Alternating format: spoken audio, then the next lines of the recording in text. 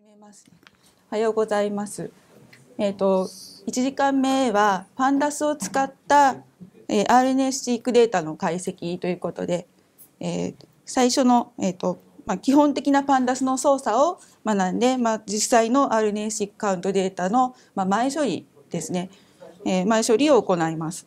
で、えっ、と使うフォルダとファイルなんですけど2の1 2の1です。2の1を開けてください。2の1を開けると,、えー、と上からえアンサーインプットアウトプットというフォルダがあって010203と始まるものからあります。で最初はパンダスイントロダクション2019を使います。でえっ、ー、とまあ、この辺は使うデータが入っていますのでとりあえずこういうのがあるというこういうフォルダがあるということだけ覚えておいてください。でアンサーのフォルダは、えーと、02と03はちょっと穴埋めで作ってあるのでその穴が埋まった版を入れてあります。えーと、では01パンダスイントロダクション2019というファイルを開いてください。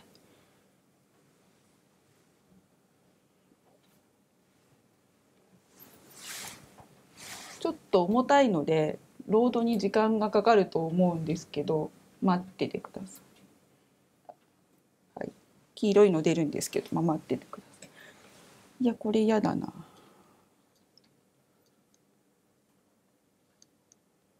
ちょっとちっちゃくするか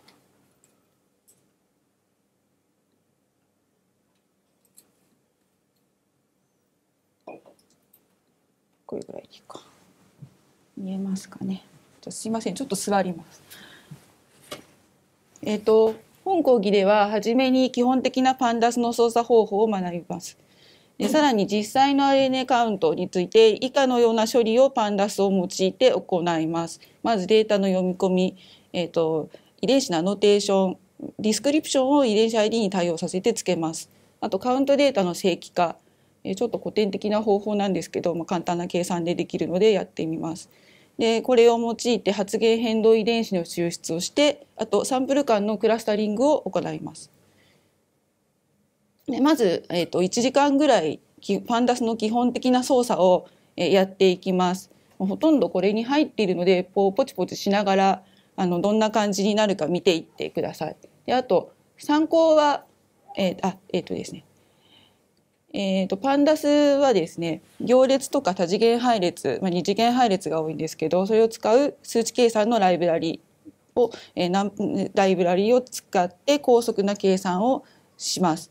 えーと、R とか、えーと、Excel とかお使いの方は割と分かりやすいかもしれないです。特に R の、えー、タイディバースとかディープライ R とか非常にあの操作感が似ているので、まあ、ちょっとあのえっ、ー、とデータの位置ですとかの示し方は違うんですけど、まあ、操作感は似てるので、まあ、親しみやすいかと思います。えーと、で本講義ではちょっと時間の関係でパンダスの、えーえと、すべて全ての機能を網羅することはできないので、えーと、以下のような書籍やウェブサイトを、えーと、ご参照ください。えー、と公式サイトリンク貼ってあるのでご参考までにあとはですね、えっと、ライリーの本でパイソンによるデータ分析入門っていう本があるのでこういうのを見てください。では、えっとまあ、インポートから入ります。じゃまずパンダスをインポートパンダスとナンバーをインポートします。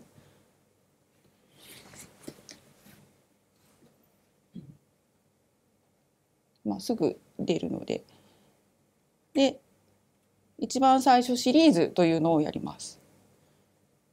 シリーズは一次元のデータを使うためのデータのオブジェクトで、え実際はシリーズだけを使う作ることはまずないと思うんですけどあのデータフレームからデータを取り出した時にシリーズとして取り出されるとかデータフレームとして取り出されるとかいうことがあるのでこう名前として覚えておいてください。でシリーズをまず作ってみます。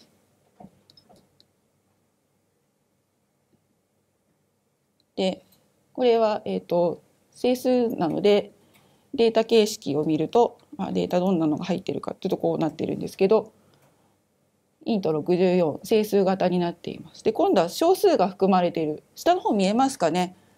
下の方見えない方いませんかね？で、えーと、小数が含まれているデータの場合どうなるかっていうと今度は、えーと、フロート64こっちが整数でも小数1個含まれているので全部こういう形になります。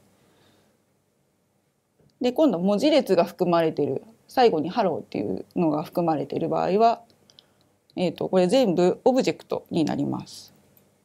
行き過ぎた行き過ぎた行き過ぎた。でオブジェクトですねちょっと上が出ないですけど。でシリーズはデータと,、えーとデータのラベルのインデックスからできています。でデフォルトでは0から始まる数字がつくんですけれどもえーと、このようにするとインデックスイコールで指定してやると任意のインデックスをつけることができます。ちょっとこうすると最後まで見えるので、で動かし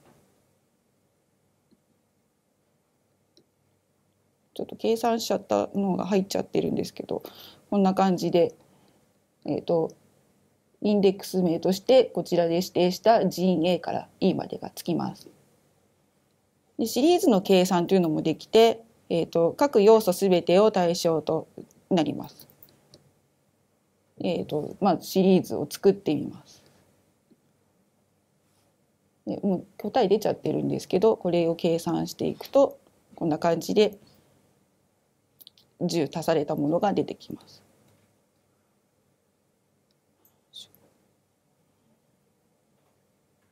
割り算もできてまあ元が103050なので出ます。で、え、ー、と整数で整数割ったのにフロートで出てきちゃうんですけど、え、ー、とスラッシュ11個でやるとフロートで出てきてスラッシュ2個使うと,、えーと、整数小だけですねあまりが出ないっていうかあの小が整数の小が出てきます。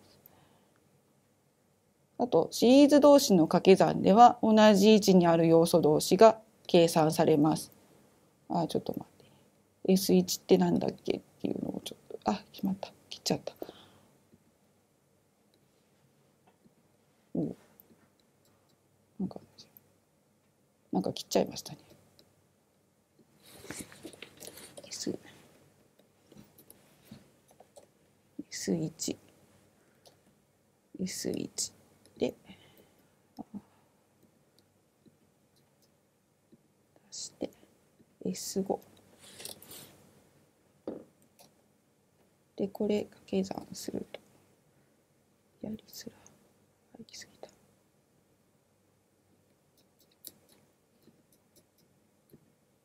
じゃあなんか私セルを1個消しちゃったのでせっかくだから皆さんよかったらやってください。えっ、ー、と掛け算か。S5 あなりますね。えー、でもフロートになるんだ。顎がないわ。なぜ？おお。ないからですね。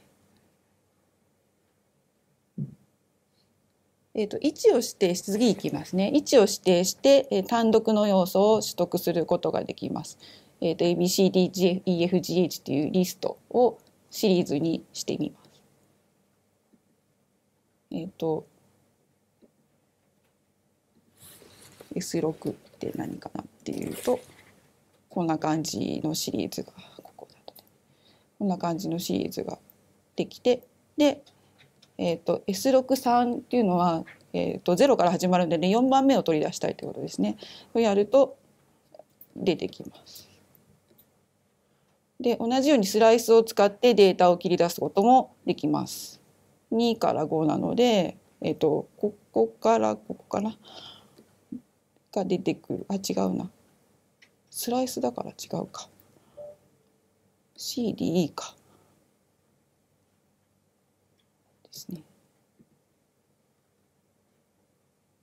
なんかスライスとかだとその分けたところ分け目が入ったところの前とかで出てくるのであの必ず結果は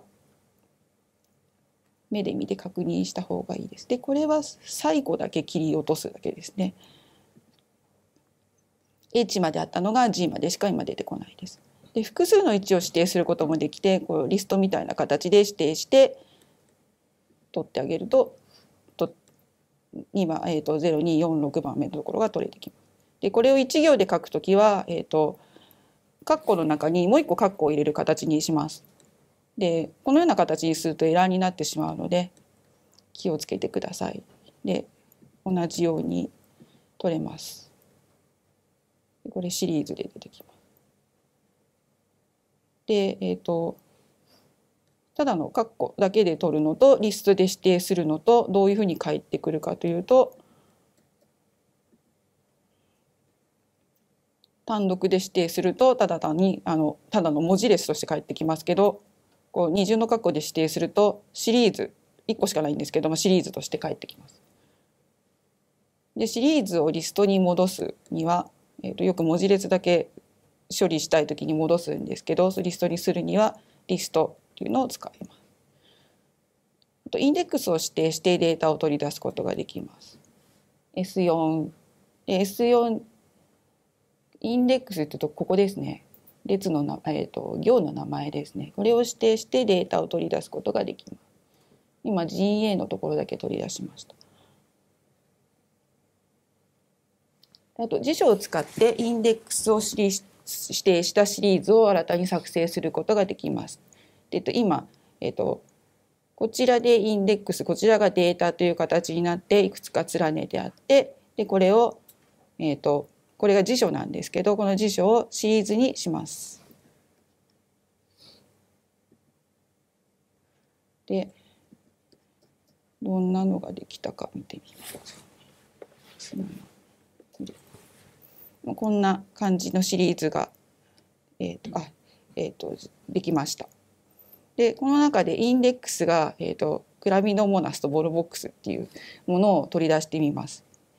でさっきやったように二重の括弧で指定します。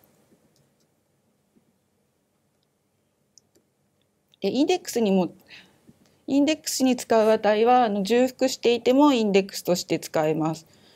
ちょっと今これえっ、ー、と最後の方見えてないんですけどここをこう動かすと最後まで見えるのでそれでも見えない。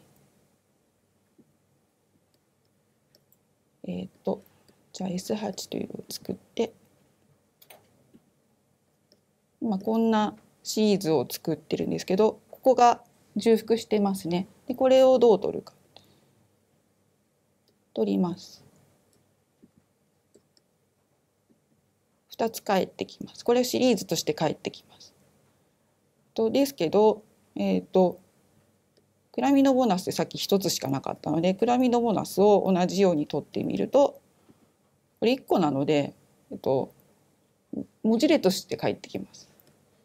なので、えっ、ー、と、同じように取ったつもりでもシリーズで返ってきたり、えっ、ー、と、文字列で返ってきたりすることがあるので、えーとインデックスに重複した値を使うのはできれば避けた方がいいのかもしれないです。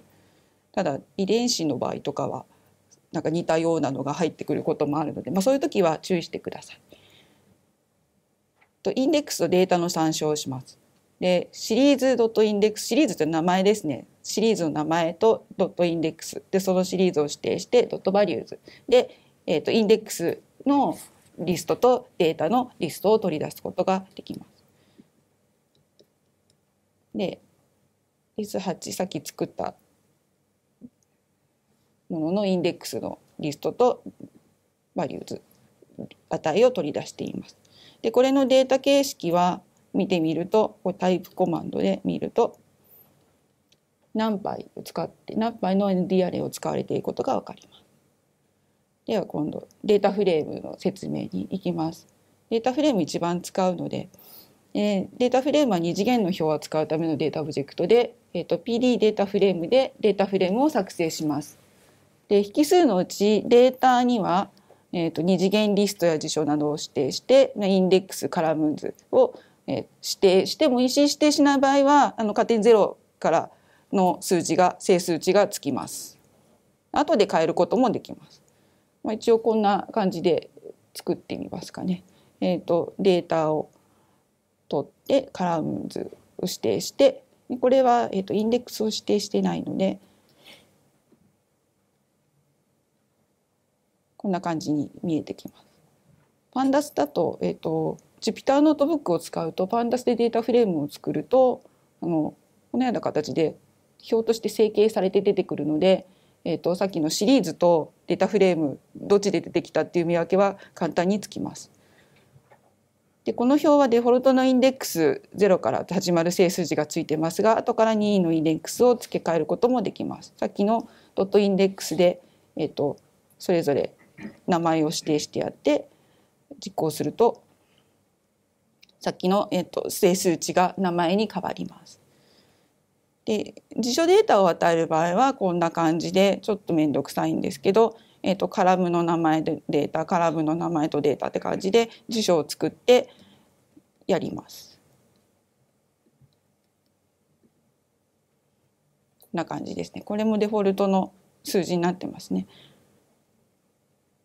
でカラム名と,、えーと、インデックスはそれぞれカラムズとインデックスというので参照ができます。まあ、これであんまり使わないんですけどこれ見たら多分表を見たら分かってしまうのでただインデックスはどうしようという時に見ることはできます。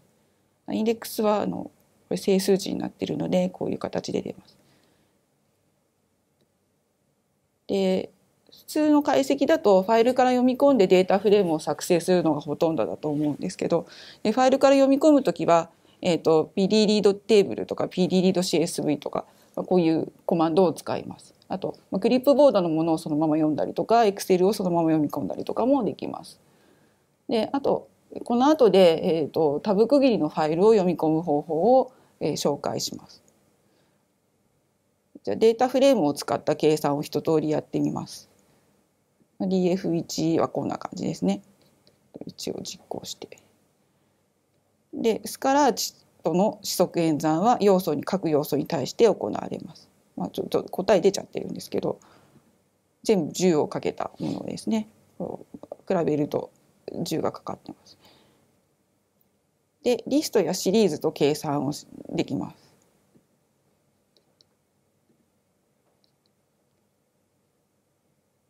これはこう1ここ1が足されて2が足されてって感じですね。各行ごとにこの行のこの行を足すっていう形で計算が適用されます。でこれだと,、えーと、データの要素が揃ってこう4つあるんですけどこっちはないので 3,、えーと、3列しかないのでエラーになります。ちょっとやって、まあ、あの時間があったらやってみてください。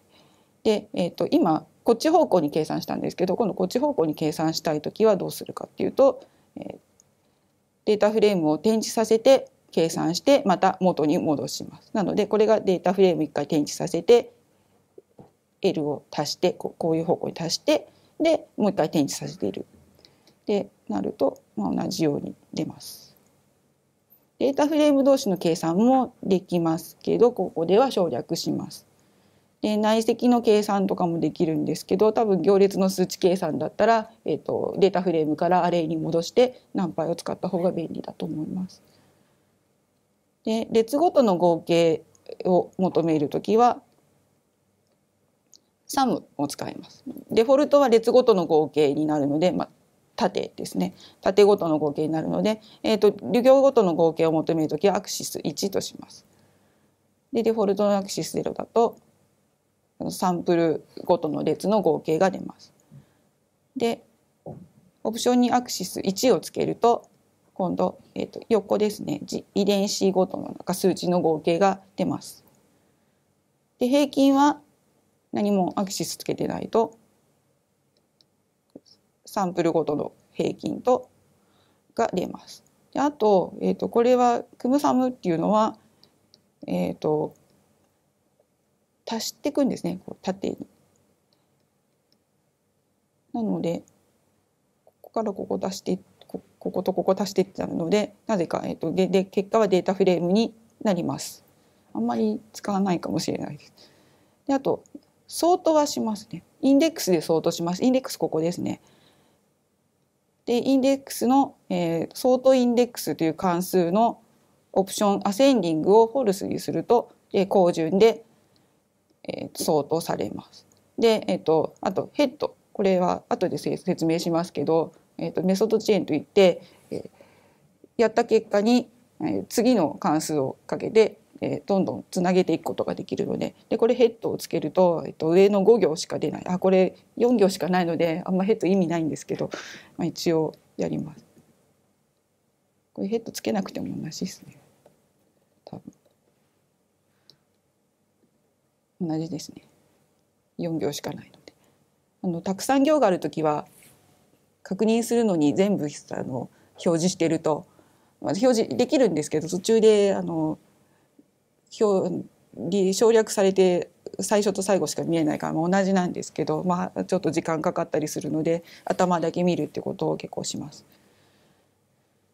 で今度要素の値です。こっちですね。インデックスじゃない方の相当をしますね。ソートバリューズ。えっ、ー、と DF2、まあ、こういうのをさっき作ったんですけど列の値ゲノムサイズここですね。この列の値で相当をかけます。今こんな感じでバラバラに並んでますけど、えっ、ー、とこれでレネポジションファーストではバイっていうのが、えっ、ー、とその値を使うってことですね。なので今、えっ、ー、と小順になったのでちっちゃい順から並びました。で今のこれなんですけど相当されててもですねえっ、ー、とソートされてても元の DF2 は確か変わってないです。DF2 元のやつは変わってないんです。なのでソートした結果を残したいときは、えーアセえーと、インプレーストゥルーをつけます。でちょっと今度はアセンディングトゥルーといろいろまあつけてあるんですけどいろいろつけてあるんですけどで今度はこれを実行した後に DF2 ってやると今度は順番が変わったままになります。で、えっと、ちょっと元に戻しておくのであと列の並び替えというのもできるんですけどこれ DF ヘッド2行だけ最初の2行だけ表示させています。で今 GA の行っていうのが左から132とこう並んでるんですけどこれを左から小順に並べ替えます。なので、えっ、ー、と行指定なのでアクシス1で何でやるかっていうと GA でえっ、ー、と別に何も言わなくてもできるのかな。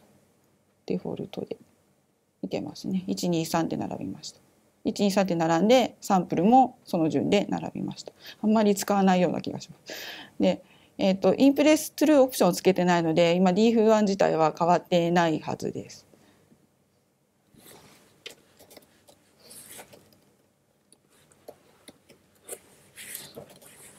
変わってないですね132のままで変わってないですあとデータフレームからの行と列と要素の抽出ですね。で、まあ、DF1 こういうものから列の抽出をします。で抽出したい列名、まあ、サンプル1っていうのを抽出したいとします。でその列名を括弧内で指定します。名前で指定します。結果はシリーズとして返ってきます。このように指定するとシリーズで返ってきます。df1.sample1 という形でも名前がついてればできます。で複数の列を抽出する場合は中にリストを指定します。で括弧は二重になります。で結果はまあ2つあるのでデータフレームとして返ってきます。まあ、サンプル1とサンプル3だけ取りたい。とそういう形こういう形で返ってきます。で次あのさっきは一重括弧でサンプル1を取ってきたんですけどこの二重括弧にするとこれがシリーズじゃなくてデータフレームで返ってきます。あとスライスを使って、えーと、行を抽出することもできます。えーと、0から3なので2行目までが出ます。今2行目まで出ますね。えっ、とこういうふうに書くとエラーになります。でスライスで0行目だけやりたい時は01とします。あんまりやらない気はしますけど。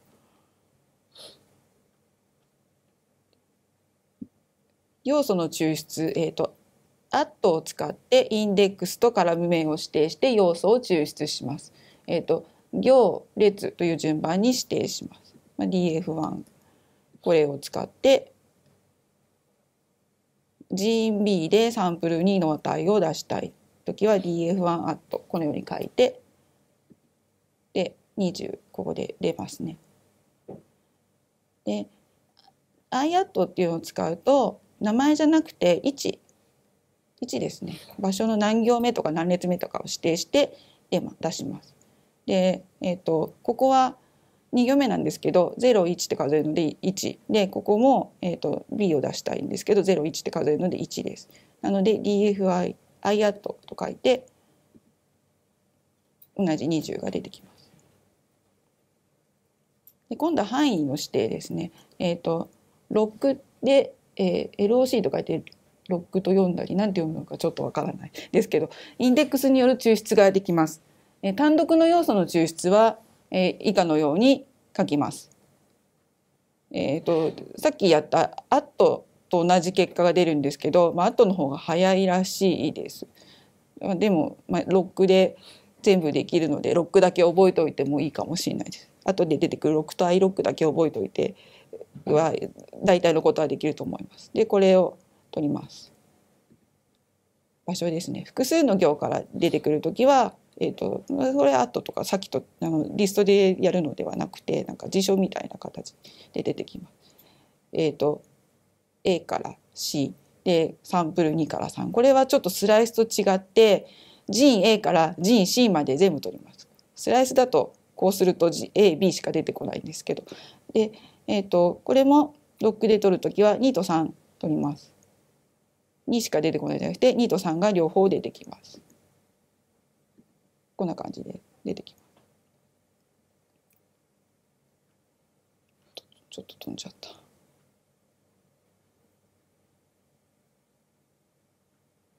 ですね。今言ったとこですね。えっ、ー、と、まあ、慣れるまではとか私も本当実際は慣れてないのであの必ず何が出てきたかっていうのを見ながらあの取ってきた方が間違いはないと思います。ヘッドを使ったりとかですねあの普通に DF の名前を打ち込むだけで全行出てくるのでで見ながらやった方がいいと思います。であと,、えーとコロンコロンを指定すると対象となる列また行の全体が抽出されます。えーと、行名だけ指定して列は全部取ってきたいとかは時とかは、えーと、あえて明示的にこれを書くってことがあります。あの指定を省略することもできるんですけど、まあ、便利ですとは書いてあるんですけど、まあなんか、うん、一応慣れるまではやっぱりこうこういう指定をした方がいいかもしれないです。同じ操作になるって分かってからでいいかもしれないです。同じですね。で列の指定を省略することもこれは可能なので、えっと、あえてやらないこともできます。であと全ての行を指定するときは前にコロンをつけます。すべての行が多分 A から D まで出てるはずですね。出ますね。ですけど、えーと、同じような書き方でですけど同じようなものが取れるんですけど二重括弧で指定する方が、まあ、簡単かもしれないです。であと,、えーと、ロックの時はリストを使って指定することもできるのででこうすると,、えーと、さっきのスライスみたいなコロン使った時は順番並び順通りに出てくるんですけどこちらの方法を使うと,、えー、と好きな順番にここで指定した順番に出てくるので好きな順番に並べ替えるということも可能です。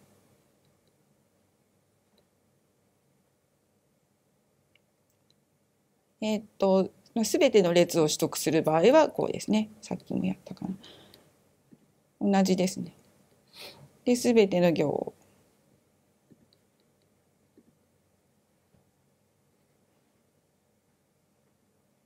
でこちらよりやっぱり二重括弧で指定した方が便利です。で単独の行まあ、GND のこう横に取ってますね。でこれも、えーと、列前列の指定このコロンは省略できるのでこのように書き書いても同じです。で単独の列で行の指定は同じようにやっぱり省略ができます。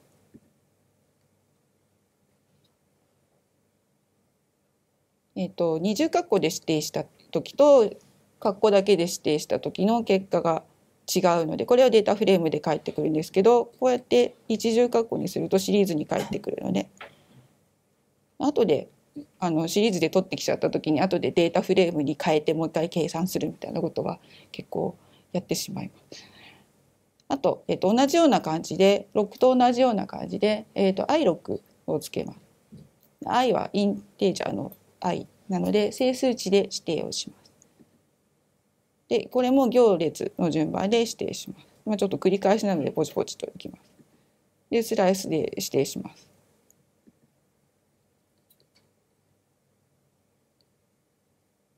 これあこれスライスだからねなるほどね。リストで指定します。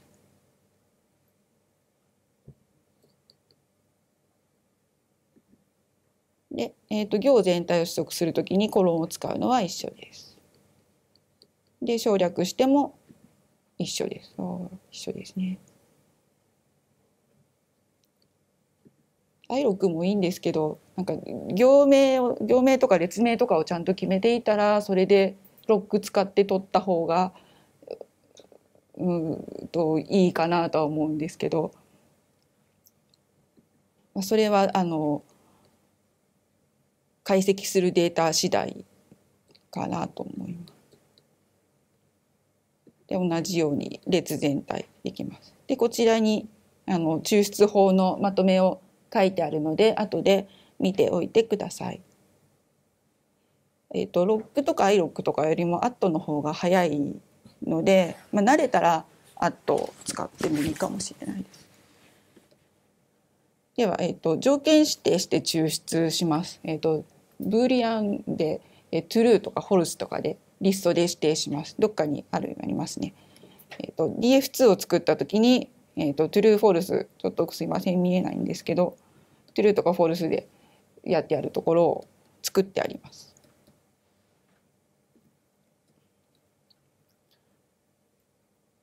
えっ、ー、とこれはこっちを見てないでですねこれこれの場合はえっ、ー、と例えば1行目とって1行目が欲しい2行目が欲しい3行目いらないこれもいらない4行と5行目もいらないみたいな時に指定をするやり方です。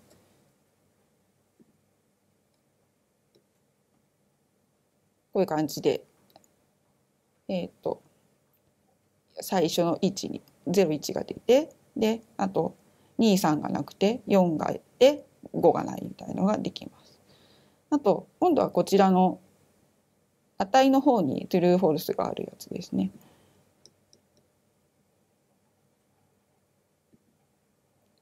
トゥルーしか出てこないと思う。トゥルーだけこっちトゥルーだけ出てきます。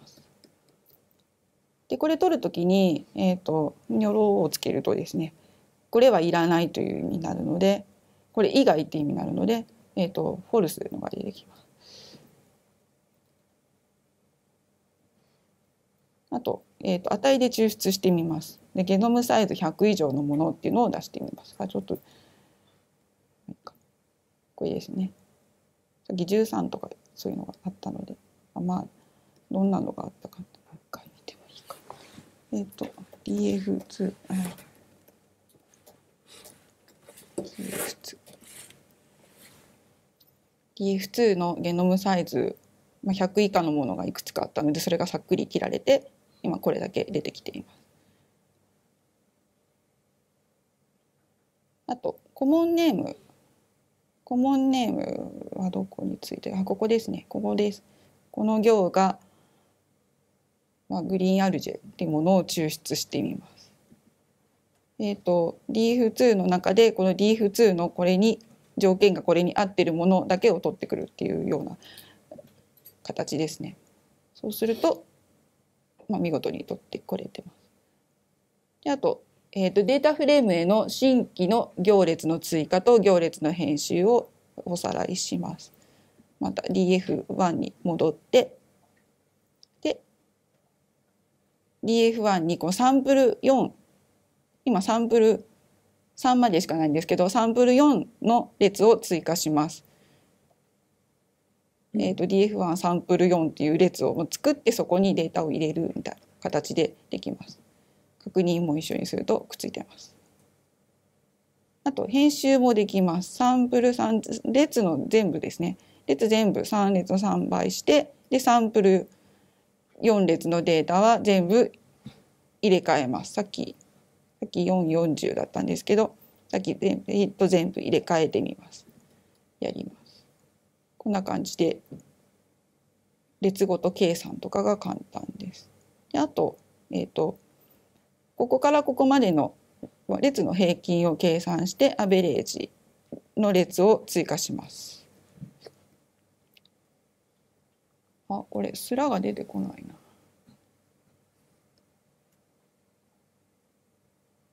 えっ、ー、とこれスラ3度になってると思うんですけどちょっとこれは出てこないですね。えっ、ー、と全部足してえっ、ー、と4で割ってます。でこれは mean という関数を使ってもできます。えっ、ー、と df1 のこの名前の列を取ってきてそれの、えーと、平均を取ります。で、えー、またこれ隠れちゃってるんですけどえっ、ー、と行に適用させるのでアクシスは1になります。でこれをやるとえっと、まずアベレージっていうのはここのここでできてます。でアベレージ2っていう列はこの式からできています。同じように2つの値が同じようになっていることを見てください。であと列の削除には、えっと、ドロップを使います。でデフォルトではえーと、アクシス0、まあ、行の削除になるので、えー、列を削除したい時はアクシス1を指定します。えーと、アベレージ2つできちゃったので1つ消したいです。DF1 ドロップこのように書くと削除できます。これは非破壊的だったかな。でリストこれもう一回書いてるってことございてこれですね。もしかするとよいしょと DF1 非破壊的だったかな。ああこれ非破壊的操作なのでこうやってやってもですね残ってます。残ってるので、まあ、複数列の、えーと、指定もついでにやっちゃいます。アベレージとアベレージ全部除きます。でさっきの、えーと、カウントだけのデータだけにサンプサンプルデータだけにしてみます。でここに、えっ、ー、と実際にはこれでは削除できていません。まあ、これでやると残ってます。削除するためには、えーと、代入をします。元に戻すときには、えーと、元のデータフレームのに代入する。あと,、えーと、別のデータにしたいときはなんか名前を変えたデータフレームを新たに作ると新しいデータフレームができます。で、デルを使っても削除ができますがこれの場合はえーと、代入しなくてもそのまま変更がされます。じゃあちょっと戻しておきます。サンプル4も除いちゃいました。アベリーさっき作ったサンプル4も除いて一番最初の DF1 に戻しました。では行の操作やります。えっ、ー、と行の追加をします。実際には1行ずつ追加する機会っていうのはまああまりないと思います。データフレームごと,、えーと、コンカットとかジョインとかでくっつけることが多いと思います。え追加したい行のデータをあらかじめシリーズとして作成して、え、作成しておきます。で、インデックスを、インデックスは一緒ですね。インデックスは DF1 のカラムと同じにして、で、行の名前を、まあ、インデックスを GE とします。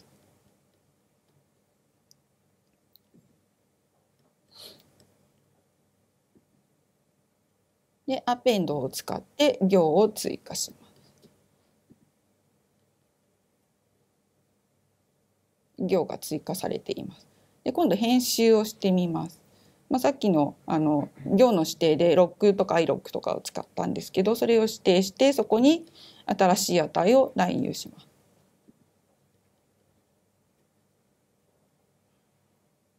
5倍10倍になってますね。でまた元に戻しておきましょう。あと要素の値単独の値を指定することもできます。えっ、ー、とここ今 GA のここですねここ1.0なんですけどそこに0を入れちゃいます。これだけ変えることもできます。0になっています。まあ、また元に戻しておくと。で行の削除、まあ、これも同じなんですけどドロップほとんど同じですね。だけどこれ変わってないので DF1 はそのままですね。よいしょ。ドロップしか。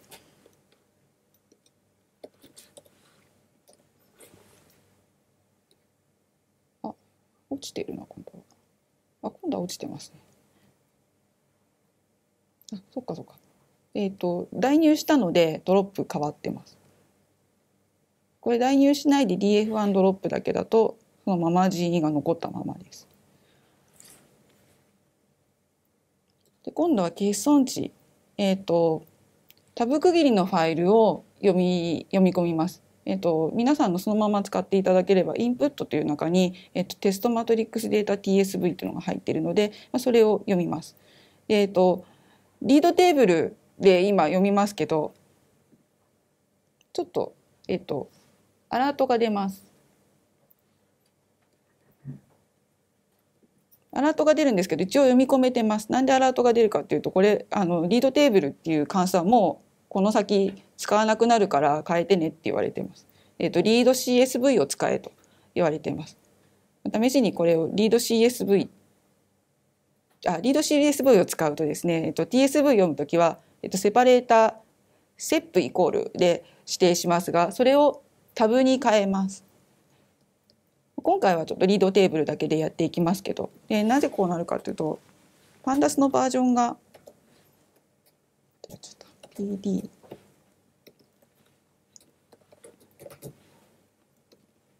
アンダスのバージョンがこれ0.24.2です。えっと最初にあのこの講習会の前に送られた、え環境設定でそのままやっていただくと多分0.24.2かその後の0.25.0あたりが入るかなと思うんですけどその辺だと出ます。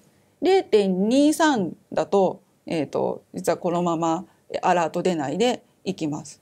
えーと、パンダスは結構バージョンアップがかなり頻繁にあるので、えーと、時々こういうアラートが出てくることがあるんですけど、まあ、読み込めてる場合もありますので、まあ、そのまま進んでもらうかあとはあのアラートのところに例えばここにこれを代わりに使えてあるのでその時点で、えー、とスクリプトを変えて関数を変えておくというのも、まあ、あと後々いいかなと思います。今回はこれで読めているのでちょっとこれで進んでしまいます。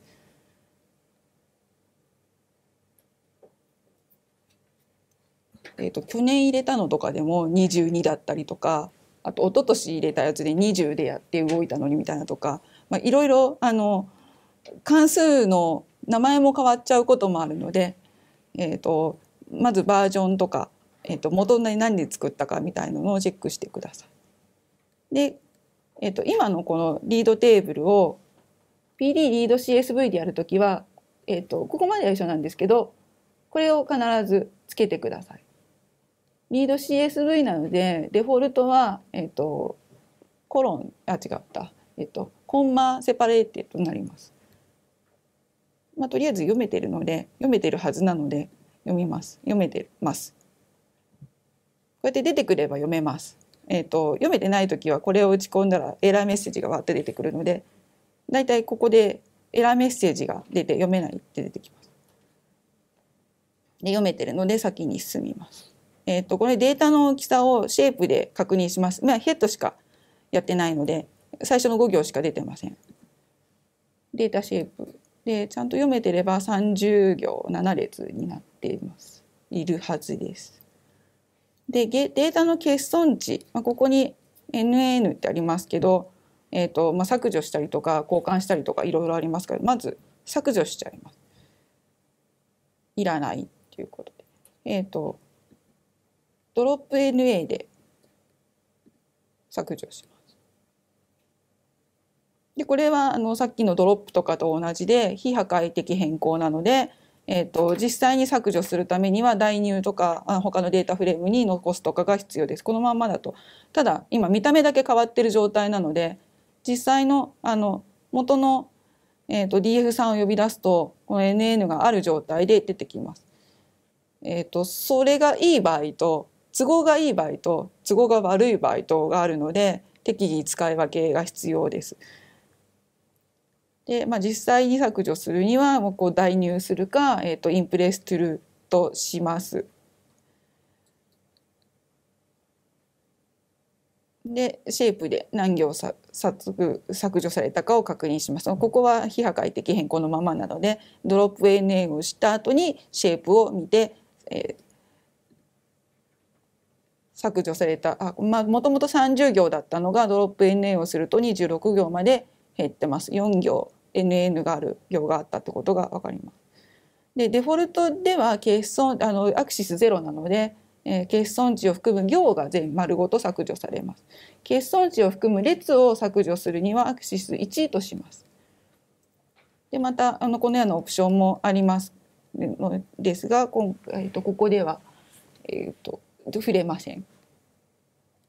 で欠損値あの NN を削除しちゃうと全部その人消えちゃうか他のデータがなくなっちゃうのでそこに0を入れたい時は多分あるのでその時はフィル NA をします。フィル NA でここが、えーと、入れる値ですね。今0を入れたいのでフィル NA をしてみます。確かデータ12に NN があったので今ここデータ12 NN が0になりました。で引数に辞書やシリーズを指定することができて例えば、えーと、C 列。ここの列だったら、えーと、今これだとなんだ？C 列だと0にしたいけど E 列だと1にしたいみたいな。計算上0になったら困るみたいな時は、えーと、ここで指定することができます。でこれを、まあ、ディックとして C だと 0E だと1っていうのを指定しておいてでフィル NA の引数にこの辞書を割り当ててやると,、えーと、変わるんですけど多分 C 列はヘッドだと出てこないので、まあ、変わってはいないんですがここだけ1に変わっています。で、えーと、今までの方法を応用して各列の平均で埋めるということもできます。まあ、ここがここだけ変わっていくんですけど、まあ、こういう平均で埋めたい時とかあとえっと、前後の値前後の値で埋めたい時は前後の値の平均かな？で埋めたいというのもあの連続値みたいのでこう間にどどうしてもグラフ書いてみたいみたいな時はこうやって埋めることもできます。で重複の除去もできます。ドロップデュプリケート。でデフォルトでは行全体の値が重複していた時に削除します。で下の例では下の例では D 列に重複値があるときに先頭行を残して以後の行を削除しています。なるほど。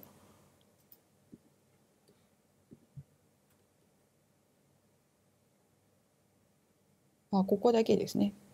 一列だけ見てますね。ここに重複しているのがあるのでここだけ残してあと全部これをなくします。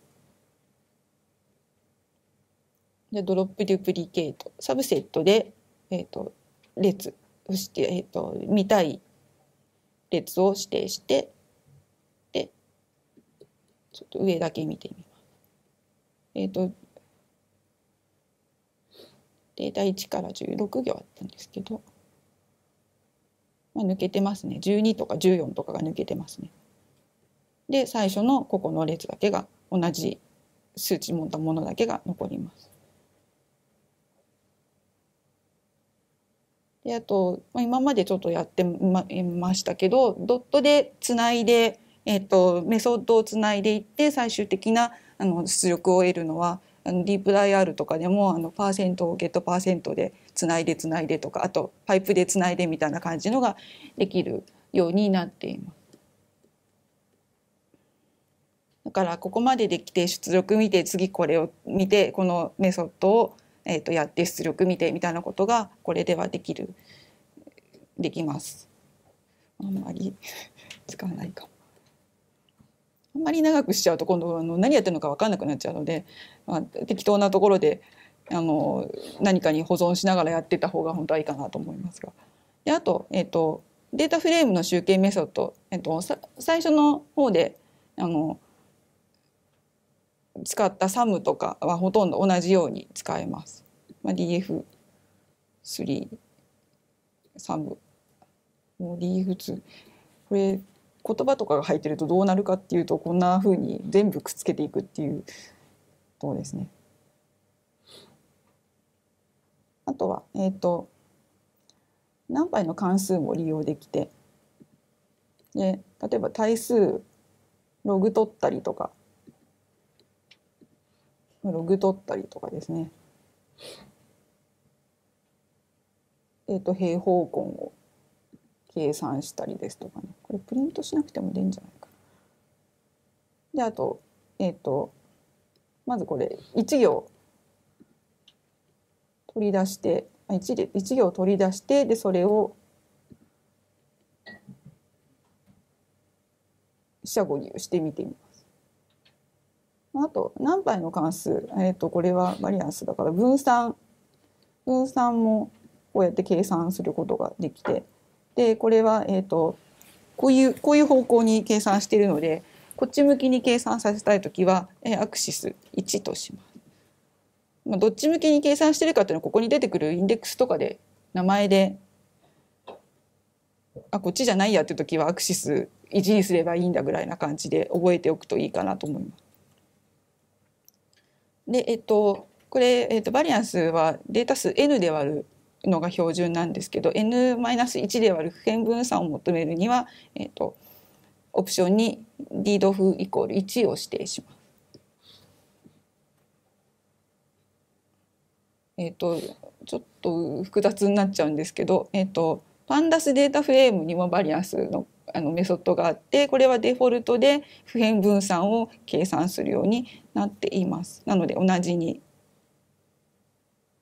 なっていますね。これよいしょなんか書き方が違うので NP バーで中に指定するのと DF1 のメソッドとして指定するのと同じ書き方ですね。同じ同じことが、えーと、書き方が違うんですけどできます。で標準偏差は、えっと、STD とか、まあ、こちらのデータフレームのメソッドの STD とかを使えます。であとマップアプライアプライマップこれは結構使うんですね。で関数をデータフレームとか行列に適用するのに使います。えーとメソッドにさっきこっちにあったんですけど何杯とかデータフレームのメソッドにあるのはわざわざ関数を作ることはないのでそちらを使った方が早いです。でちょっとテスト用の関数を作ります。えっ、ー、と引数 x が文字列 with instance、えーと、だったら文字列だったら小文字に変換してそうじゃなかったら、えーと、ハイフンを返すという関数をテスト用に作ります。で DF2 これですね。これちょっと大文字と小文字と混ざっていますのでなどんなふうに変わるかですね。で、えーと、各要素全体に関数を適用するしたいのでマップを使ってみます。えーと、ここだけか変えたら面白いのはここだけなので、えーと、DF2 のここの列だけ取ります。でマップでマップの中にさっき作った関数の名前を入れます。で、えー、と先頭の大文字が今小文字に変わりました。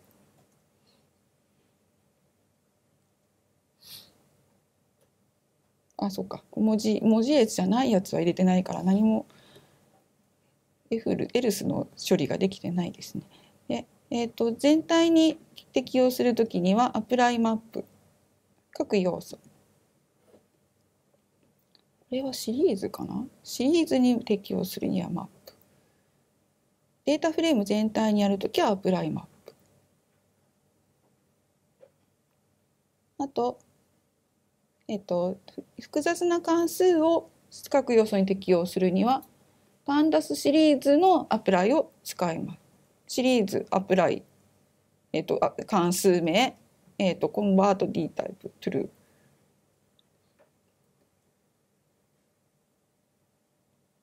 ー。同じような、えっと、引数が数値だったら、えっと、小数単位何位までの概数にしましょうっていう、えっと、関数を作ったのでそれをまずちょっとシリーズを作ってで引数を小数第2位までにするのかな。こんな感じに出ます。でデータフレーム行または列ごとに関数を適用するにはデータフレーム Pandas データフレームの applyを使います。えーと、パンダスデータフレームのアプライとパンダスシリーズのアプライは使い方が異なるので注意してください。なので、えーと、なんとか、えーと、変数名というかデータフレーム名があってドットアプライになるのかシリーズドットアプライになるのかで変わるっていうことですね。ちょっとここのこの辺りが違いますね。でまた集計関数を、えー、とデータフレームの行または列を受け取ってスレッショルドよりも値が大きいものの長さを、えー、と返す。でまた作ってみましょう。動作確認。えっ、ー、とスレッショルド5だから5よりも値が大きいものの個数を返す。なので2で OK ですね。動きますね。じゃあこれ DF1 DF1 にこいつを適用するとどうなるのかと。えっ、ー、と各列に適用するのでアプライアプライでいいのか。はいこんな感じですね。で各行に適用。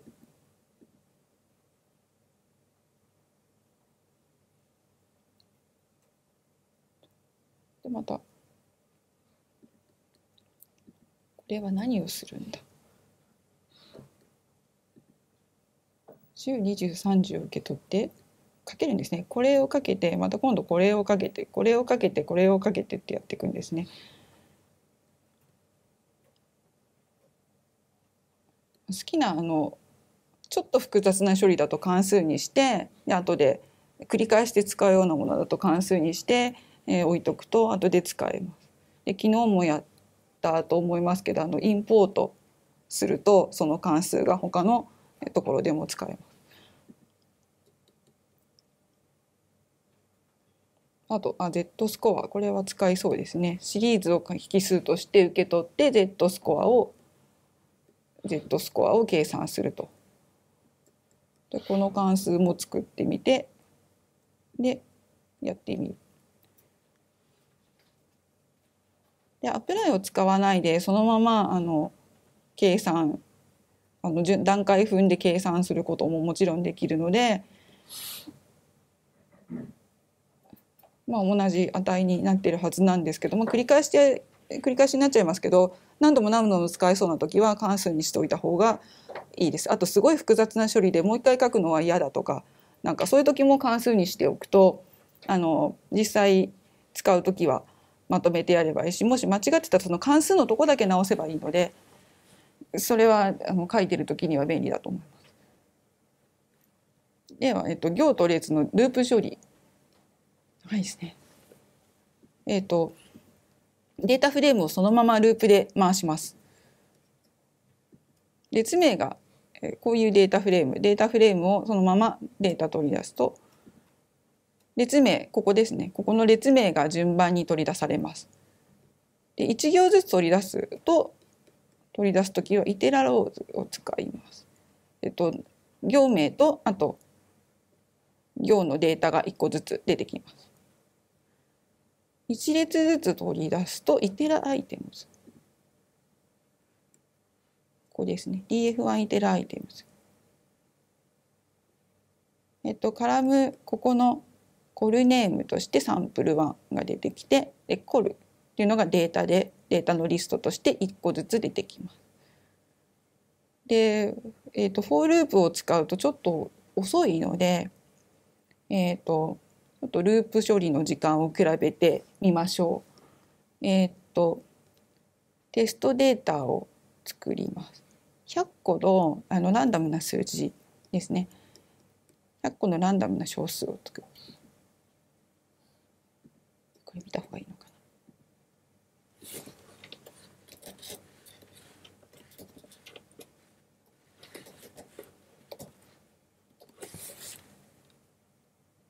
な。あまあこんな感じの適当な5列あるのね。なるほどこんな感じのが出ます。で、これをループで回して各要素を四捨五入した値に置き換える処理をしてみます。えっ、ー、と、値を指定するのにロックを使うときとアットを使うことができるんですけど、まあ、ロックを使うと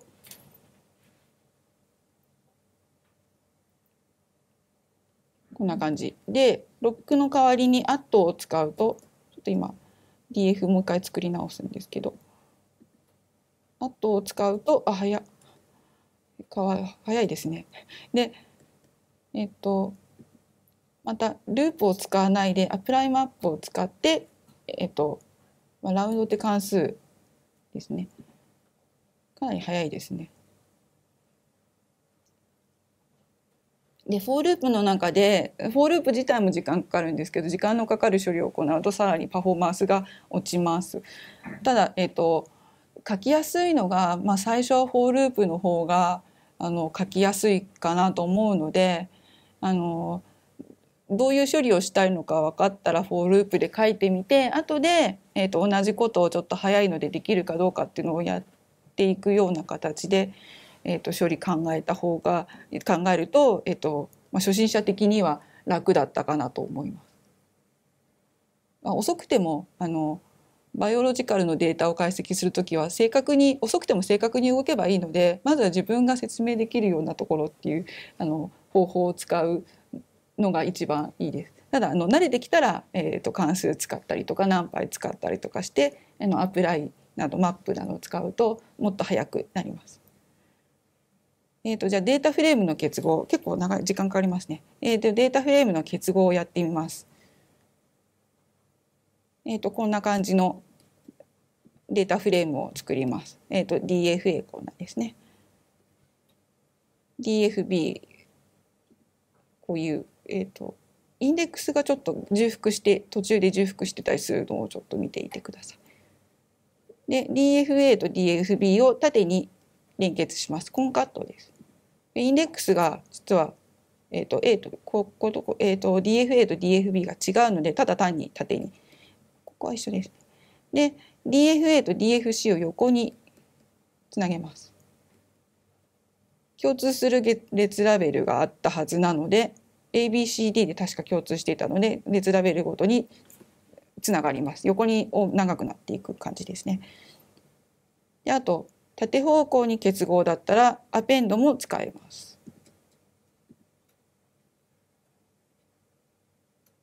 あと、順位。これ順位はよく使います。で、インデックス。行のラベルをキーとして連結するのによく使います。で、DFL。今こういうふうに作られました。えっ、ー、と、DFR。こんな感じで。なんでこんなんだって言うんだろう。まあいいや。えっと、で、えーと、DFL に DFR をつけます。なのでこ,、えーと、こういうデータにディフィニションがつける感じですね。デフォルトでどんなデフォルトでやると,、えーと、デフォルトだと左のデータフレームこっち側にあるものは全部出て、えー、ともしこちら側 DFR の方になかったものは NN としてつけます。でインナーインナーを指定すると両方のフレームに存在するのが出てきます。まあ、例えばこちらでフィルタリングしたい時っていうのはインナーにしておくとここにないものは出てきません。で PD コンカットでも同じような結果になります。もっとこれだな。これエラーが出る人がもしかしたらいるかもしれないです。相当入れないといけないとかで。で、えっ、ー、とマージ、えっ、ー、とインデックス今はジョインはインデックスを、えー、と指定してえーと、結合するものだったんですけどインデックス以外の値で他のところに他のデータが入っていてそこで結合そこをキーとしたい時はマージを使います。で、えーと、たくさんのオプションがあるので、えーと、細かいところはパンダスのヘルプや、えー、と書籍などを見てください。で一応またこんな感じでもう一回 DFL と DFR という、えー、と表を作ってみます。DFL こんな感じですね。で DFR が、消しちゃう DFR がこんな感じの ID とディフィニションがあってで共通するキーっていうのがえ、ー、とここですね PFAMID っていうのは共通してるんですけどインデックスではないです。なので、えーと、PFAMID をキーとして結びつけられます。でどの列をキーとするかは、えーと、 left on とか on とかあのこういうオプションで指定ができます。でマージでもインデックスをえーと、値をキーとできるのでその時は、えーと、 left index right index っていうオプションを使います。でデフロデフォルトだとインナージョインになるので、えーと、両方のデータに共通しているもののみが出てきます。やります。えっ、ー、と下の例だとですね、えっ、ー、とちょっと減ってしまってますね。PF PF0225 っていうのは、えーと、DFR の方にはないのでないのでない、えーと、それをそれがけら、えーと、削られてしまいます。えっ、ー、と PF01926 っていうのは多分これは2行あってこっちは1行しかないんですけどあの共通しているので同じものがついてきます。で、えっ、ー、と、左側の人 ID がある方の表をぜは全部残したいという時には、えっ、ー、と、How を Left っていうオプションにして実行すると残ってないものは NN になります。で、コンカットも使えます。で、レフトインデックスで、インデックスでお DFA って何？っていうのをちょっと見た方がいいですね。えっ、ー、と DF DFA DFA こういうやつですね。DFC DF DFC DFC これですね。でこれをくっつけるとこんな感じになります。ここだけ残ります。共通するものだけ残ります。同じことができる。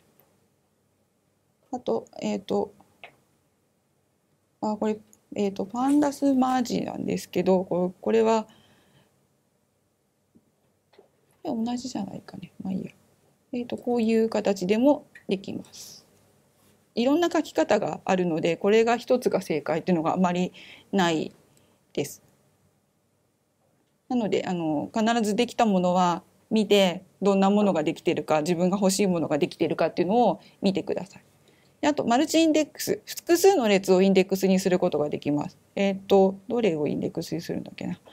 まあ、DF2 さっき作った緑層の名前のデータですけどでマルチインデックスえっ、ー、とコモンネームここかながアルジェとかですねあとジェネリックネームここですね首相名と,、えーとえー、とこの辺の慣用名でインデックスにしましょう。今インデックスができました。できると表の形が見え方がちょっと変わってインデックスになったものが太字になります。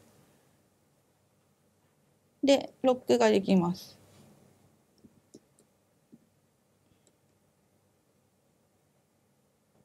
グリーンアルジェってやつだけ取ってきます。あと2つに2つ指定しても取れます。複数指定しても取れます。あとグループバイ。グループバイ、コモンネームでグループバイして、あとカウントします。チェーンでくっつけてカウントしてみます。こうあんまりこっち以降はあんまりないですけどもここだけ見れば何種類あるかみたいなのはこうグループバイで見れます。でピポットテーブルもできます。大体あの Excel とか R のディープライ R でできることはまあ大体大体できます。で、えーと、データフレームを書き出してみます。保存しないとあのここで終わってしまうのでで保存するために書き出しましてインデックス DF1 インデックス最初ついてなかったのでインデックスの名前はついてなかったのでインデックスをこういう形でつけてみます。で、えっと、アウトプットというフォルダの中に、えっと、データフレーム 1TSV として書き出します。で、これは 2TSCSV っていう、えー、関数を使って、で、えっと、デフォルトだと、細膜切りのあのデータになるので、この後、もしかしたら、あの、エクセルに持ってきたいという時はそれでデフォルトでいいかもしれないんですけど、まあ、タブ区切りにしたい時は、えーと、t にしてでヘッダもこれはヘッダトゥルーにするとここのここですねここがヘッダになってインデックストゥルーにするとここが出ます。何もしないと何もなくて多分カウントだけになってしまうので、えーと、それをつけたい時は必ずヘッダーとインデックスを指定してください。でこれを実行すると,、えーと、アウトプットフォルダの中に、えーとこの名前のファイルができています。え、ー、とじゃあちょっと長かったですけどまだこの先がありましてじゃあ以上を踏まえてですねえっ、ー、と RNA-seq のカウントデータの前処理をえっ、ー、とあと20分ぐらいで頑張ってやってみましょう。えっ、ー、と RNA02 の RNA-seq プリプロセッシング2019というのを開けてください。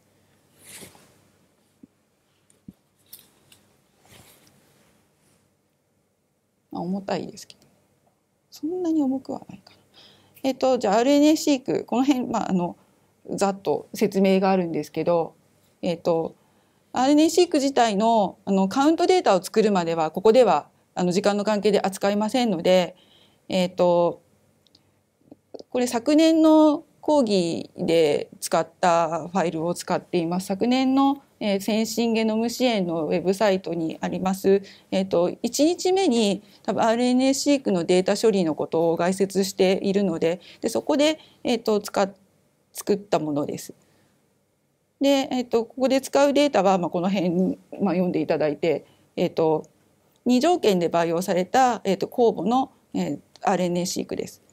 で、えー、とこのデータ自体は、えーと DDBJ の DRA に、えアーカイブされているので、まあ、そこからリードを公開されているのでそこからリードをダウンロードしてきて、えーとまあ、リファレンスを準備してリードそのもののクオリティチェックをしてで前処理をしてであのゲノムにマッピングをしてであとフィーチャーカウントっていう、えー、アプリケーションを使って遺伝子ごとのリードカウントを取りました。で、そのカウントデータを、えっ、ー、と、ここの講義では、まず読み込んで、で、アノテーション、えっ、ー、と、GNID に対応したプロダクトをつけます。で、カウントデータの正規化をします。あと、発現変動遺伝子と、えっ、ー、と、まあ、最後、おまけ、そこまで頑張っていきたいですけど、サンプル間のクラスタリング、えっ、と、をしてみます。では、まず、えっ、と、さっき読んだんですけどあのこのファイルが変わるともう一回読まなきゃいけないのでもう一回読みます。であと,、えーと、カウントデータとあと GID とのと description を紐付けたファイルは、えー、インプットフォルダに入っているので、えーと、まずそこのインプットフォルダのパスをここで指定します。でカウントデータを開くとですねえっ、ー、と開いててみるかな。開く時間はあるな。大きめ。えっと。えー、っと。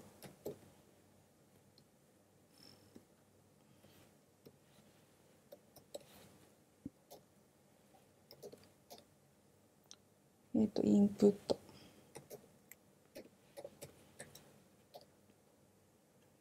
カウンツテキストがありますね。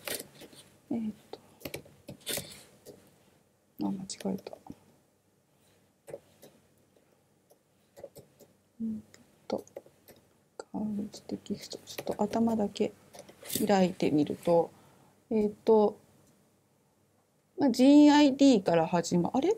あ GID から始まるのがあこれもうななってますね。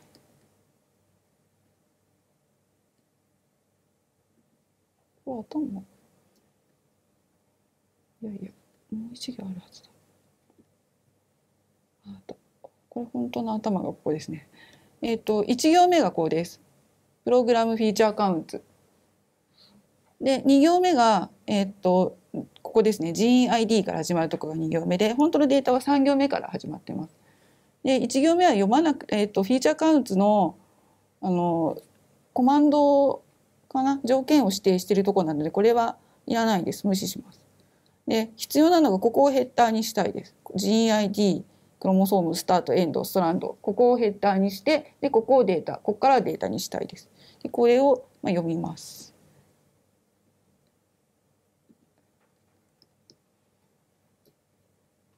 よいしょと。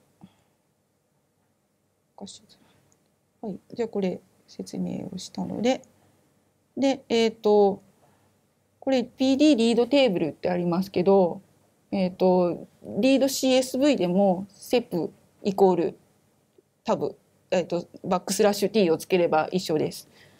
えっ、とまず1行目を見たくないのでスキップローズ1にします。であとインデックスコル、えっ、ー、と一番左の G なんとかって書いてあったところをインデックスにしたいのでそこをインデックスに指定します。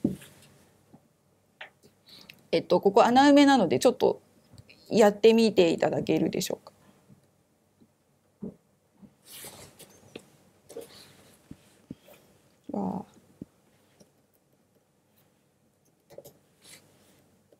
え、っとさっきファイル名はちょっと上に行っちゃったんですけどカウントファイルですね。まずパカウントファイルパスを指定して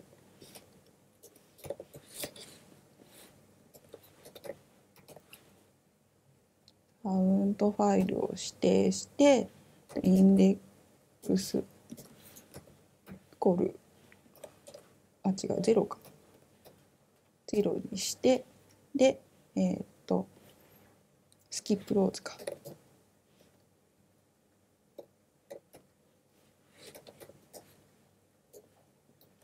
1あこれ怒られてるんですけどあのリード CSV を使えってことなので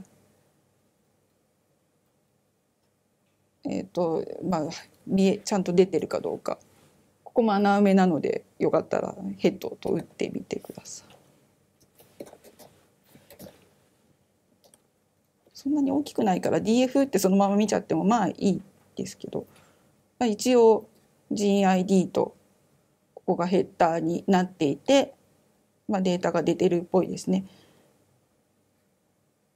でスタート列だけちょっと確認する。あと、えっ、ー、と、それ、スタート列と、えっ、ー、と、エンド列がオブジェクト型で入っちゃってるので、まあ、今日は使わないんですけど、これらを使って計算とか、なんかレングスとか出したいなみたいな時は、えっ、ー、と、数値型に変換をしてください。本講義では使わないのでやりません。であとカウントデータの行数と列数一を確認しましょう。えっ、ー、とここも穴埋めなのでちょっと入れてみてください。シェイプ DF シェイプとやって実行するとあ6420ですね。そんなに多くないですね。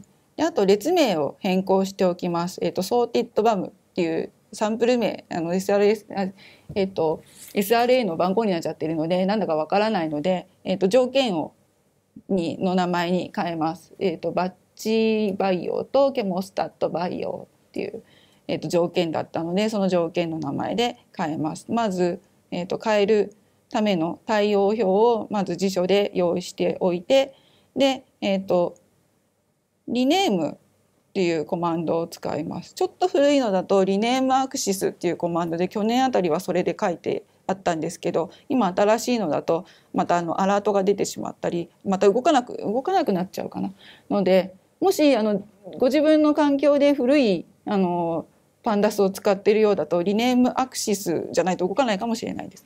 でこれを、えーと、とアクシス1を適用して列名を変更します。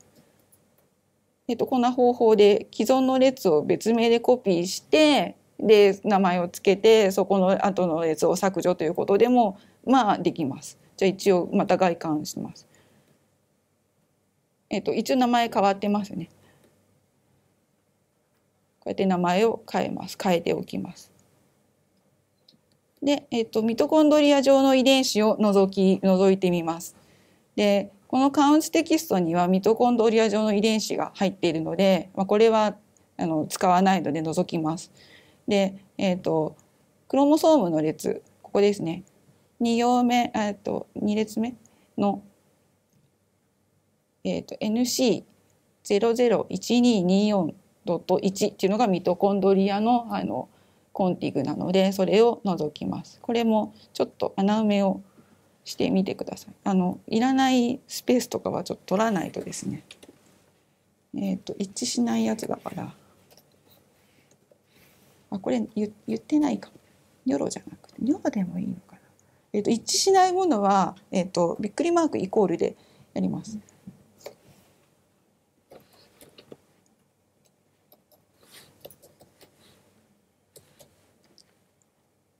出るかな？で正しく処理ができてればデータ件数はあのあらかじめやってると6394件になるのであ大丈夫ですね。これここだけもしミトコンドリアだけ欲しい場合はイコール2つ続けてイコールイコールってします。これ多分 R とかやってる人は同じかなと思います。で遺伝子にアノテーションをつけます。さっき読み込んだ、えーと、ジーン ID プロダクトっていう GID プロダクト TSV 昨日あの最後の授業でホイとしてこういうものを作りますっていうところでご説明をしてあるので、えっと、細かいところはそれをあの戻ってみていただきたいんですけどこんな形のファイルを用意してあります。遺伝子 ID と,、えっとプロダクトを結びつけてあります。でデータフレーム名を、えっとジーンプロダクトとしてこれ読みます。読み込んでみます。で名前名前言っとけばよかったですね。ここに書いとけばよかったですね。ちょっと戻らなきゃいけないんですけど、えっ、ー、と、なんてやったかっていうと、最初の方に、えっ、ー、と、ジーン ID プロダクトファイルっていうので、や、えっ、ー、と、やってあります。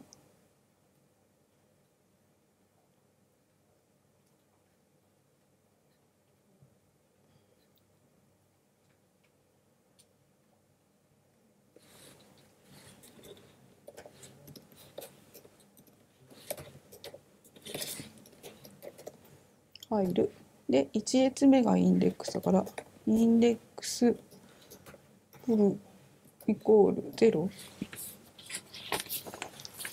間違えた大変ね。よいしょ。どこだ？どこだ？あった。インデックスコールイコール0でえっ、ー、とカラム名はネームスっていうオプションで指定します。ネームスイコール。ここですね。ここそのままコピペで大丈夫なんで。私のは何かコピペができないので。ああしまった。ネームスイコール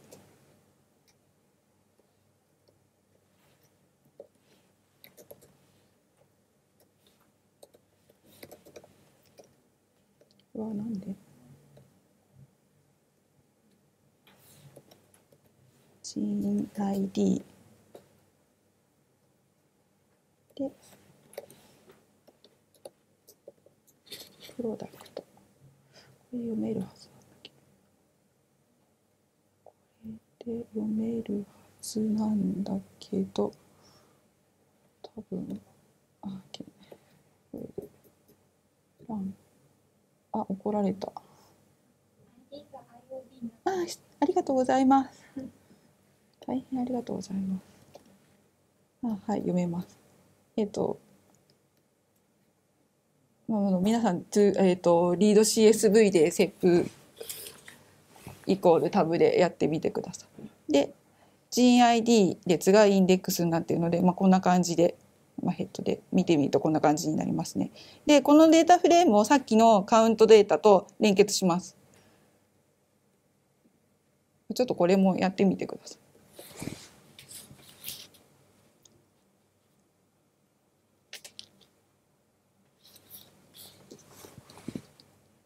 ジョインジョインどっちだ？DF か。逆だ。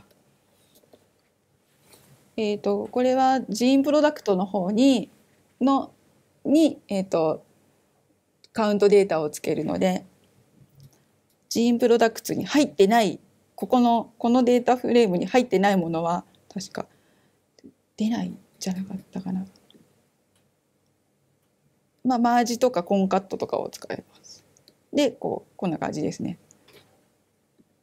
ここにプロダクトがついて、あと、データが。何これ？なんか違う。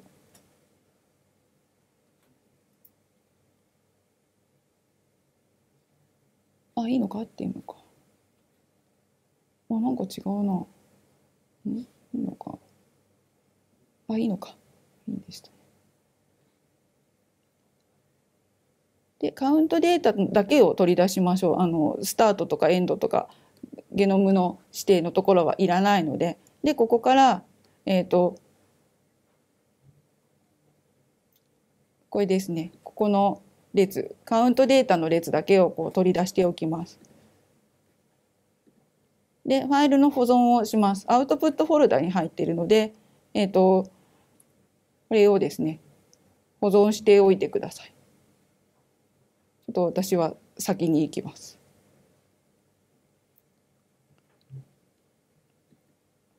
もうすでにあの保存してあるのがアウトプットフォルダに入ってるんですけど一応あの元の、えーと、アノテーションがついたものとあとカウントデータだけのところを、えー、それぞれ保存してあります。で、えっ、ー、と、Jupyter の中で昨日やったと思うんですけど、バッシュコマンドを使うことができます。で、これで、えっ、ー、と、どうなっているかを見てみます。入っているはずなんで、こんな感じで入っていると思うので、後で見てみてください。で、あと正規化してみます。ちょっとこれ、忙しいですね。えっ、ー、と、サムぐらいはできるか。DF、えっ、と、えっ、と、ちょっと元のデータをコピーしておいて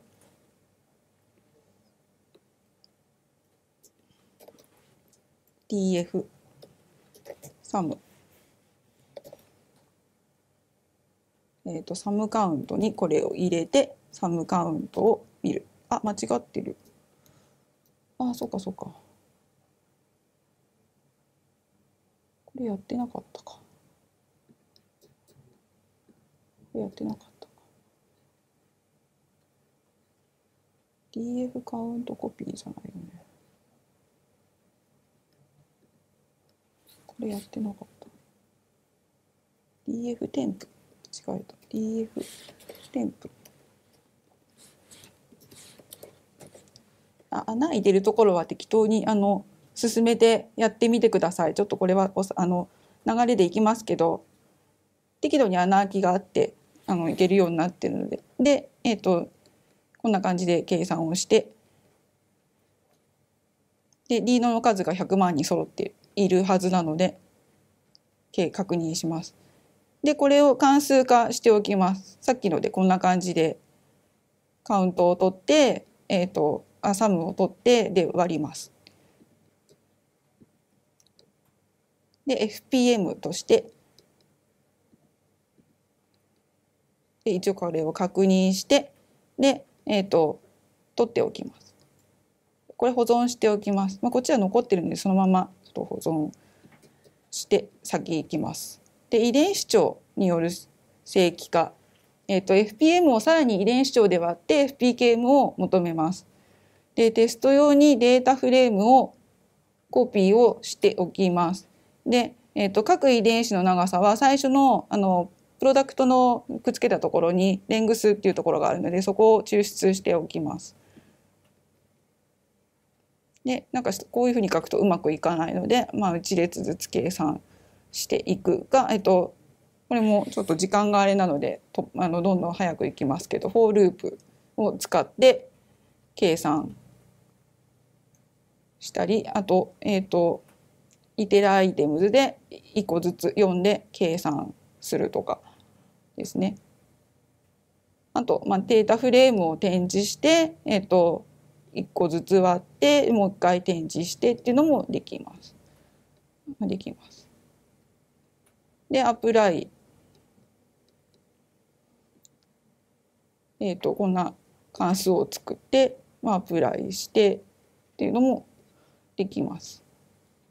で、これはあまり私は使ってないんですけど、こういうディバイドっていう関数もあるので、まあ、いろんな書き方ができるので、やれます。でデータフレームを展示させて計算する方法を、えーと、 normalize per kilobase として関数化をしてでこれを使って、まあ、計算をしておきます。ちょっと時間かかるんですね。で保存もできます。であと TPM、えっと、最近 FPKM だとあの正確に比較ができないから TPM を使った方がいいということなので、まあえーと、長さ1000ベースペアあたりのリード数求めてから総リード数を100万に揃えるとさっき逆にさっきのことと逆にやります。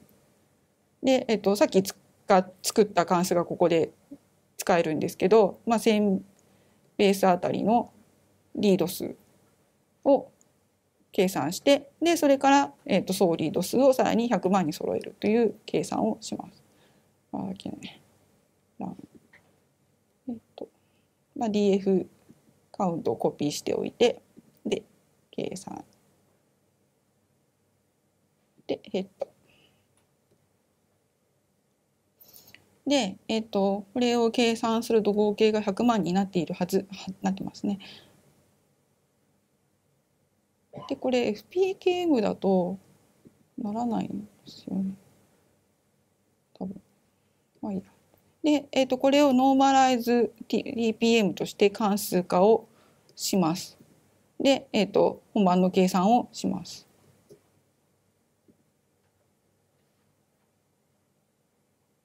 で一応確認するんですけど100万になってるかどうかっていうのを確認してなってますね。でこれを保存します。で、えっと、何杯使ったはどうやって速くなるかみたいなのをちょっと計算してあるんですけどそれはちょっと各自やってみてください。で発言変動の方に行きます。えっと、まずあの2条件あったのでバッチとケモスタットそれぞれの平均を求めてみます。でこれ、えっと、私はこう全部足して割る3とかでしてます。こっちも全部足して割る3とかしてます。えーと、ミーンとか使ってもまあいいんですけども1個あのデータフレームを余計に作んなくちゃいけないかなと思ったので、まあ、一応1行で書けるようにやりました。で、えっ、ー、とここにあるんですけどこの TPM の、ねえーと、カウントのデータフレームにバッチという、えーと新しい新しい列を作ってそこに入れます。でここにも新しい列を入れます。同じケモスタットっていうのを入れます。でもしあのこれ2回やっちゃったとか言っても同じ列だったらあの上書きされるだけなので、まあ、大丈夫だと思います。で、えっ、ー、と、ログ2フォルドを、あの発言変動を、えっ、ー、と、ログ2で、えっ、ー、と、求めます。で、えっ、と、0で助算、割り算すると、えー、いけないので、えっ、と、分母の方にですね、あの、すごい小さな値を加えています。で、それで計算をして、で、えっ、と、ちょっとどんな感じか見てみますかね。で、バッジっていうのができてですね、多分ログ2 fold が出てるんじゃないかな。あ、なんか infinity になってるな。で、なんか、えっ、ー、と、小さいやつ。ゼロ、ゼロを割ってるようなやつとかですかね。そういうのは infinity になっちゃってますね。で、えっ、ー、と、必要部分だけ抜き出します。えっ、ー、と、TF カウント TPM から、えっ、と、バッチケモスタット、ログ2フォルトの列を抜き出します。えーと、抜き出す時はリストを使使ってやるのでこれちょっとコピペができなくてですね。すいません。リストを作るのでえっ、ー、とどこだ？バッチ。バッチえっ、とスタート。えっ、と。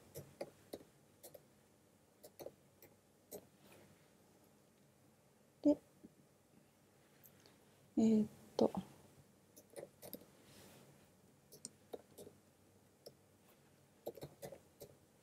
ジョインチン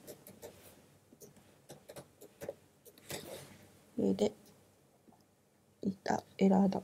どれだ？プロダクツか。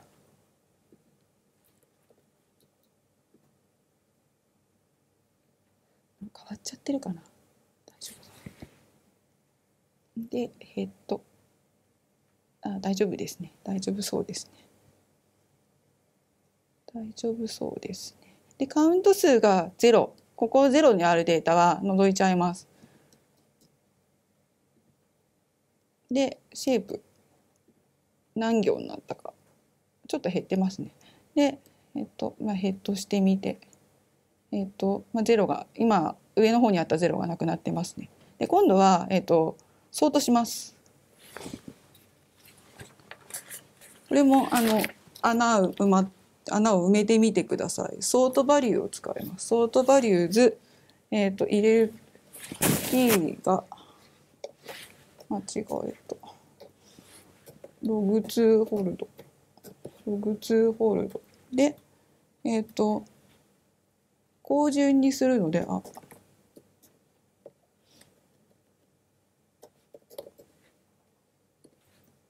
アセンディング。あ、間違えた。アス、アセンディングが、えっ、ー、と、にするといいかな。で上位えっ、ー、と50になっているので上位はヘッドでいけます。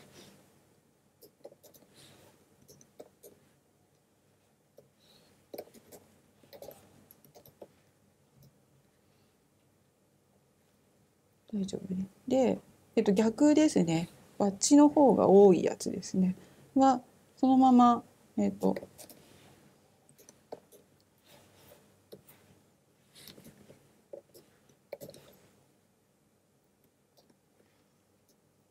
このままいけますね。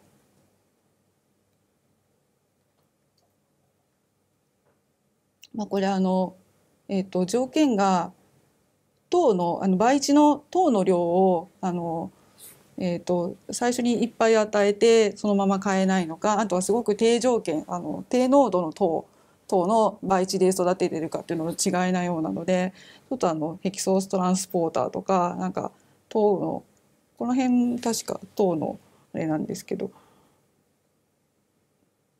糖のトランスポーターが、えーと、減ってる。ケモスタットっていう方がえーと、糖の濃度をすごく少ない状態に維持した培養とかなのでなんかもうないよっていうのがちょっと見えてきてるので、まあ、間違ってないかなって感じはありますね。であと,、えーとよくやるのが、えーと、サンプル間のあのばらつきとか見たりするのにクラスタリングをするんですけど、まあ、簡単に ppm 石化したデータでクラスタリングして、えーと、デンドログラムの樹形図みたいなのを書いてみます。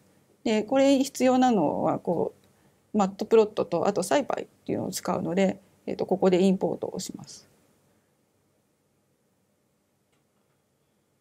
で、えー、と計算なんですけど、まあクラスえーとえー、と計算するときに、えっ、ー、と、転置、転置してから、え、ー、と、ログツフォルドと平均の行をと削って、で、あと、残りのデータで、え、ー、と、クラスタリングを、サイパイですね、をします。で、結果を可視化するときに、えっ、と、パえっ、と、マットプロットリブを使って、えっ、と、図を書きます。で、こんな感じの図が書けます。えーと、急いだけど以上でだいたいおしまいです。で、えっ、と2の1同じフォルダに03っていうあのフォルダファイルがあってですねこれは今02でやったところの、まあ、ほとんどあのほんのちょっと今あの打ち込みながらやったんですけどそれをほとんどまあ打ち込みながら説明は書いてあります課題としてこれをやりましょうっていう形で、えっと、練習問題として作ってあるので、まあ、お時間がありましたら是非あのやってみてください。でえっと、答えがないのはちょっと鬼なので答えをですねあの穴埋めを完全にしたあのものをアンサーの中に入れてあります。で今回あの今02の方の、えー、穴埋めのところも穴埋めしてあるものが、えーと、ここに入ってるのであのハイフンアンスって書いてあるのが穴埋めしてあるものなので、えーとちょっと最後急いでやったのでもしあの理解しづらいところがあったらこちらをご覧いただきたいと思います。じゃちょっと長くなっちゃいましたがこれで、えーと、1時間目おしまいです。お疲れ様でした。なんか質問